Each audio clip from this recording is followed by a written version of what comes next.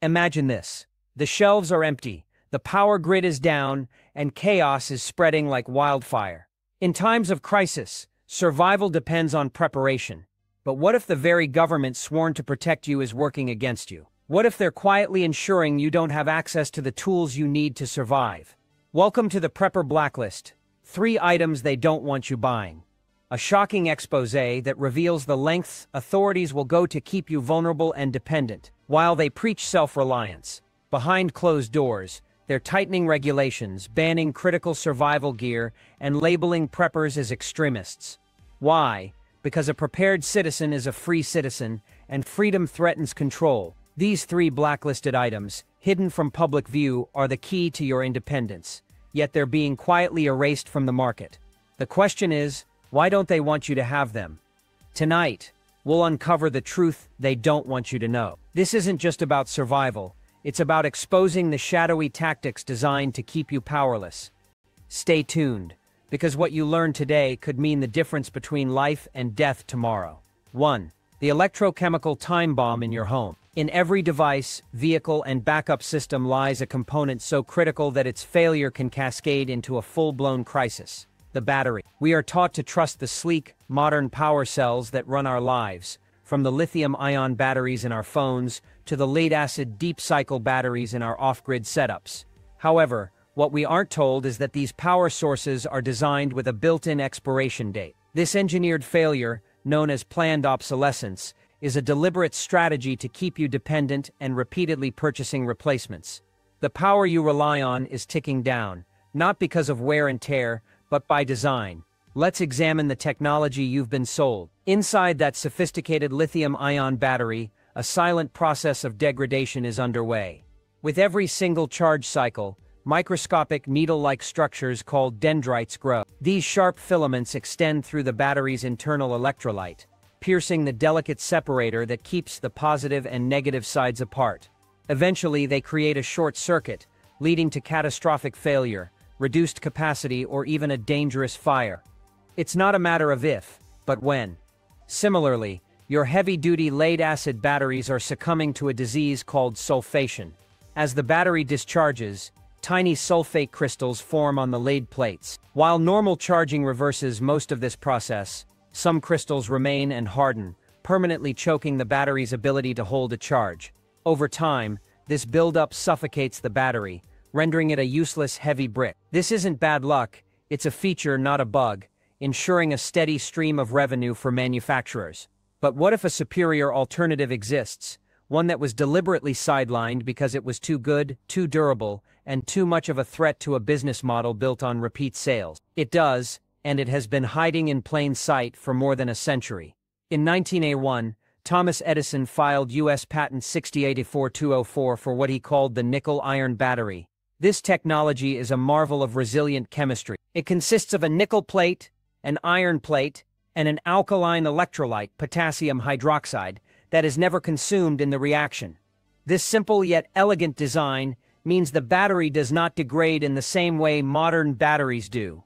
The durability of the Edison battery is legendary. You can overcharge it, drain it completely to zero, freeze it solid or it dormant for a decade, and it will still function with basic maintenance.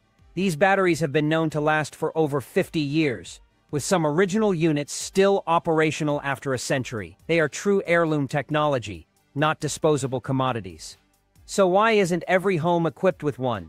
The answer is a cynical business calculation. A product that a consumer buys once and can pass down to their grandchildren is a liability to a corporation's bottom line. The recurring revenue that defines modern industry cannot be built on a product that doesn't need replacing. Consequently, the nickel-iron battery was quietly pushed aside, buried under an avalanche of marketing for inferior, disposable technologies that keep you coming back, wallet in hand. 2. The frozen smoke shielding you from extreme temperatures. In a survival scenario, your ability to regulate body temperature is paramount. We place immense trust in our gear, particularly the expensive winter coats and sleeping bags designed to keep us warm. Yet the moment this gear gets wet or compressed, its insulating properties plummet, leaving you dangerously exposed. This is because traditional insulation materials are fundamentally flawed in how they combat heat loss. Heat escapes your body in three ways. Conduction, direct contact, convection, air movement, and radiation infrared waves. To stay warm, you must effectively block all three pathways simultaneously. Unfortunately, that down jacket or fiberglass insulation in your attic fails at this the moment. Conditions become less than ideal. A critical vulnerability in a crisis. What if there was a material that solved this problem so completely it felt like cheating physics? This substance exists, and it's known as silica aerogel, or more poetically frozen smoke. This remarkable material is a blue-tinged solid that is composed of over 90% air, making it one of the lightest solid materials ever created. Its secret lies in its nanoscale architecture. Imagine a microscopic maze of interconnected silica particles creating tiny pores that trap individual air molecules. This structure effectively halts the movement of these molecules, a phenomenon known as the Knudsen effect, preventing them from colliding and transferring heat through convection and conduction. The result is one of the most powerful insulators known to man. The insulating power of aerogel is not theoretical, it's proven and dramatic. Consider the famous blowtorch test. A searing flame, burning at over a thousand degrees, is directed at a wafer of aerogel thinner than a window pane. On the other side of this delicate-looking barrier, a human hand can rest completely unharmed, shielded from the inferno. This isn't science fiction, it's the same technology NASA uses to protect the highly sensitive electronics on its Mars rovers from the planet's brutal temperature fluctuations, which can swing hundreds of degrees. Its ability to block thermal radiation is just as impressive, completing its trifecta of insulation superiority. With such revolutionary properties, why isn't every piece of outdoor gear and every home insulated with aerogel? The answer is a familiar and cynical one, durability is bad for business. An industry built on planned obsolescence and seasonal product cycles cannot profit from a winter jacket that lasts for decades or home insulation that never needs replacing. A product that performs flawlessly and doesn't degrade disrupts a system built entirely on consumption and repeat purchases. The mountain of discarded, less effective gear is a testament to the inefficiency we are sold as standard. The suppression of aerogel in widespread consumer goods isn't due to a lack of capability but a calculated business decision. It is a technology that offers true, long-term security, and for that reason, it remains on the blacklist of items that manufacturers would prefer you never discover. 3. The unbreakable web of off-grid communication. In any crisis, after securing physical safety, the most critical vulnerability becomes information. Imagine a widespread power outage where the glowing lights of cities blink out, one by one. Your smartphone, once a gateway to the world, becomes a useless brick displaying two simple words, no signal. The centralized communication networks we depend on are fragile. Cell towers require power and a functioning grid to operate. When they go dark, society goes silent. This is the radio problem, a critical failure point in modern preparedness. Many turn to standard handheld radios, like a Baofeng, as a backup. However, these devices are deeply flawed. Their signals travel in a straight line, meaning a mountain, a dense forest, or even a large building can block your transmission entirely. Worse still, every time you press the transmit button, you are sending up a digital flare. Anyone with the right equipment can track your signal, triangulate your position, and pinpoint your location, turning a lifeline into a liability. The solution isn't a more powerful radio, it's an entirely different kind of network, one that the telecommunication giants would prefer you never knew about. It's called Meshtastic. This technology creates a decentralized, self-healing web of communication that doesn't rely on a single vulnerable tower. Instead, it operates on a protocol called LoRa, long range, allowing small, low-power devices or nodes to connect directly with one another. Your message doesn't need a direct, clear path to its destination. It intelligently hops from one node to the next, like a digital relay race, bypassing obstacles and extending communication range far beyond what a standard radio could achieve. Each device in the network acts as a repeater, strengthening the mesh and making it more resilient as more users join. The power of Meshtastic goes beyond just range and reliability. Every packet of data sent across the network is sealed with robust encryption. This digital lock ensures your communications from text messages to GPS coordinates remain private and secure away from prying eyes or ears. This creates a truly independent communication grid that cannot be shut down from a central point of failure. It is a system that you and your community can own and operate entirely on your own terms. So, if this technology is so revolutionary, why isn't it by major providers? The answer lies in its very nature. A communication system that requires no monthly subscription, no contract, and no centralized provider completely undermines the business model of the entire telecommunications industry. They cannot sell you access to a network that you can build yourself. This technology represents true communication independence, a tool that provides a secure lifeline when all else fails and threatens the established order, making it a key entry on the prepper's blacklist. Bonus point 4. The graphene sieve for limitless clean water. Beyond power, warmth, and communication lies the most fundamental need for survival, water. We are told that preparedness means stockpiling bottled water, boiling questionable sources, or relying on pump filters and chemical tablets. These methods, while functional to a degree, are deeply flawed and represent another area where convenient, consumable solutions have overshadowed far superior, durable technology. Boiling water consumes precious fuel. Chemical tablets, like iodine or chlorine, are finite, leave an unpleasant taste, and can have long-term health implications. Standard ceramic or hollow fiber filters are prone to clogging, require constant maintenance, and can fail without warning, allowing microscopic pathogens to pass through. These are temporary fixes for a permanent problem, designed to be used up and replaced. But what if a technology existed that could purify any water source, salt water, industrial runoff, bacteria-laden floodwater with minimal effort and near-infinite reusability? This technology is not science fiction. It is based on graphene, a single layer of carbon atoms arranged in a honeycomb lattice. Graphene-based filtration is a revolutionary concept that operates on a simple, elegant principle. When a sheet of graphene oxide is created, it can be pierced with precisely sized nanopores. These pores are large enough to allow water molecules to pass through freely, but are too small for larger contaminants, salt ions, heavy metals, viruses, bacteria, and industrial chemicals to follow. It acts as the ultimate molecular sieve. Imagine a lightweight, durable filter that can desalinate seawater with the simple force of gravity or hand pressure, providing an endless supply of fresh drinking water. This is the promise of graphene filtration. Unlike reverse osmosis systems that require high pressure, immense energy, and produce significant wastewater, graphene filters are incredibly efficient. They don't just trap contaminants, they create an impassable barrier, ensuring a level of purity that traditional methods struggle to achieve. A single portable graphene filter could theoretically provide clean water for a lifetime, making it the perfect tool for true, long-term self-reliance. So why are we still sold bulky energy-intensive desalination units and disposable filter cartridges? The answer, once again, is a deliberate business decision. The global market for water purification is a multi-billion dollar industry built on consumable products. A filter that never needs replacing, a purification tablet you never have to buy, or a desalination system that doesn't require expensive membranes and constant power would collapse this revenue model. The technology to provide near-limitless clean water exists, but its widespread availability is suppressed because it threatens an entire economic ecosystem built on scarcity and planned obsolescence. This makes advanced graphene-based filtration a critical bonus entry on the prepper's blacklist, a tool for water independence they hope you never find. Bonus point 5.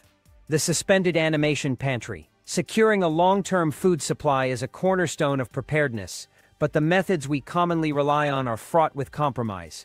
Canning is labor-intensive, requires significant storage space for heavy jars, and can degrade the nutritional value of food over time due to heat. Traditional dehydration removes water but leaves food with a shrunken, tough texture and a significantly altered taste, while also being susceptible to moisture reabsorption and spoilage if not stored perfectly. Standard freezing is dependent on a constant power supply, making it a catastrophic single point of failure in any grid-down scenario. These methods are a constant battle against time, temperature, and decay, representing another area where we have been sold good enough solutions instead of truly resilient ones. There is, however, a method of food preservation, so effective it borders on suspended animation, locking in nutrition, texture, and flavor for decades.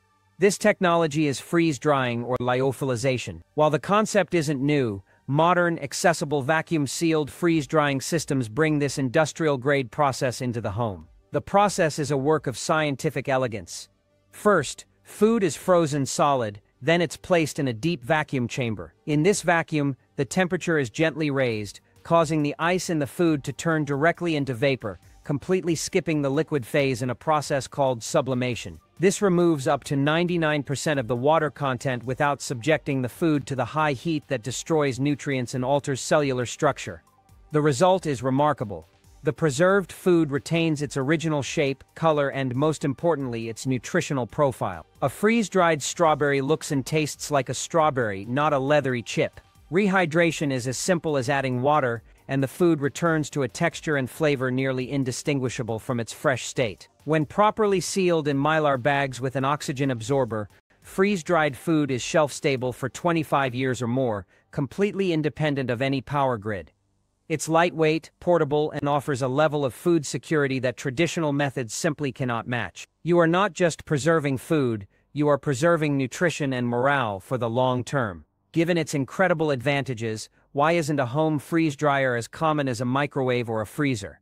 The reason aligns perfectly with the theme of the Prepper's Blacklist. The modern food industry is a colossal system built on a global, just-in-time supply chain.